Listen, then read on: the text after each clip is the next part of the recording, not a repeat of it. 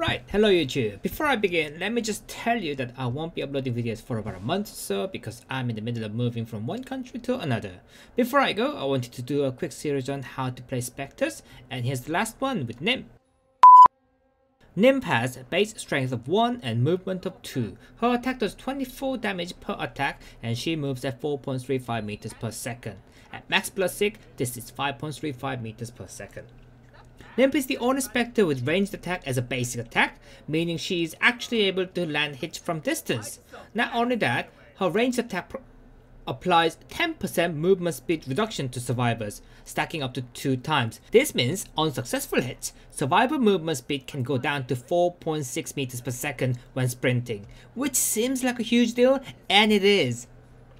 For her great basic attack, her active perk, called Phase Shift, is rather underwhelming. This ability increases Nymph's strength and movement by factor of 1, essentially turning Nymph into Belle, while losing ability to use ranged attacks on a 60 second cooldown, with 1 second mandatory stun when ability expires after 20 seconds. Yes, that is right, you lose ranged attack and the passive slow for 4 more damage and 0.3 meters per second speed difference. Yes, sure you get AoE slowdown when you activate it, but it hardly does anything when Survivor can still move at 5.175 meters per second, whereas Nymph is still moving at 4.65 meters per second with his active perk. Now, both Nymph's greatest strength and weakness is her ranged attack. Sounds odd, right?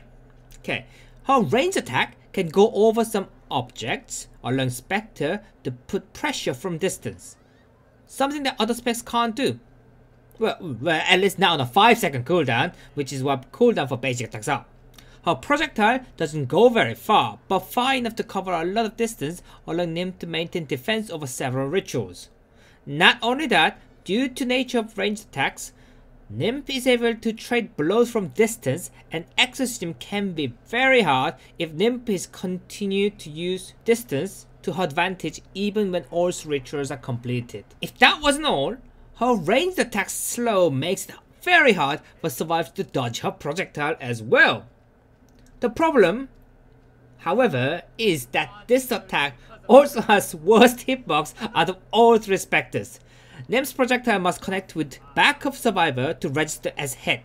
More often than not, if you aim at legs on survivor, praying on rituals, the projectile will simply go through survivors. Sometimes, they just go through even if you aim very well. If that isn't bad enough, despite having a very strict hitbox when connecting with survivors, the same projectile can be blocked by a bunch of objects on the map. Sometimes there's nothing and it gets blocked. Combined together, hitting the very first projectile can be daunting for newcomers. And you need to hit Survivor a minimum of 5 times to kill them. These inconsistencies mean Nymph isn't exactly enough friendly Spectre either, despite having best potential out of all 3 Spectres. And another weakness is her slow movement speed. There are places on each map where Nymph can be looped around for a long time since she cannot get bloodseek. Since she's slow, she can't close the distance and chase can last forever. Even with one projectile hit, Survivor can easily get the distance back. Not only that, due to her slowness, Survivor can also chain a lot of objects such as doors and lockers or even simply moving around Nymph to dodge her projectiles. There are plenty of perks you can choose on Nymph similar to Belle. Since she's not reliant on her active perk, Nymph doesn't even need Dark Occult, which means you can use likes of Helmet, Auto Guard for defense, Share Barrier for the endgame fight, Serial Killer for pressure, etc. But for the higher levels of play, having either Auto Guard or Helmet always helps against CC, and having Poltergeist as a second perk helps reduce time destroying objects on the, on the map.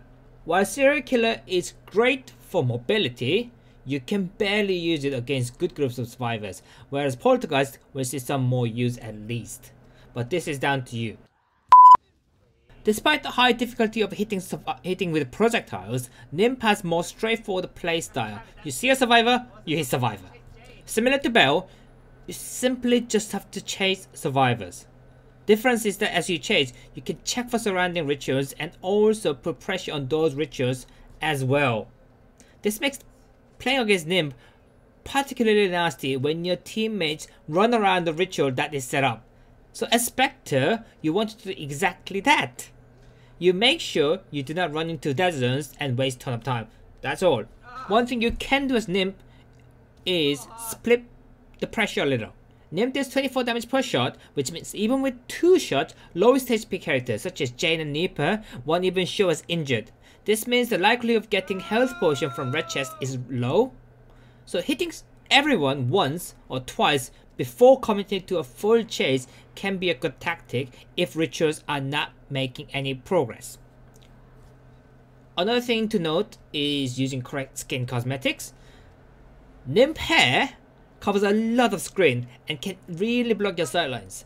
Ocean Monarch or Canned Nymph skin both reduce screen clutter, helping you to manage your game.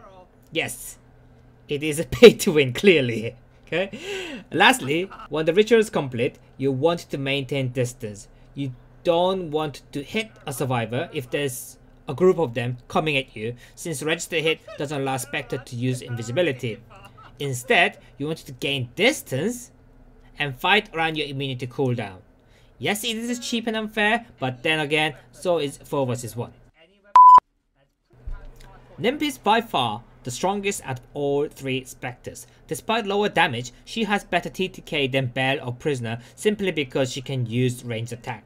Despite this, however, her projectile has issues with non-reg hits and collision with objects. Learning to use her attack is the first and most important step in using Nymph. After that, learn loops, which which is waste of time. There are several across the all maps if and if survivor is good, there is little reason to follow that survivor.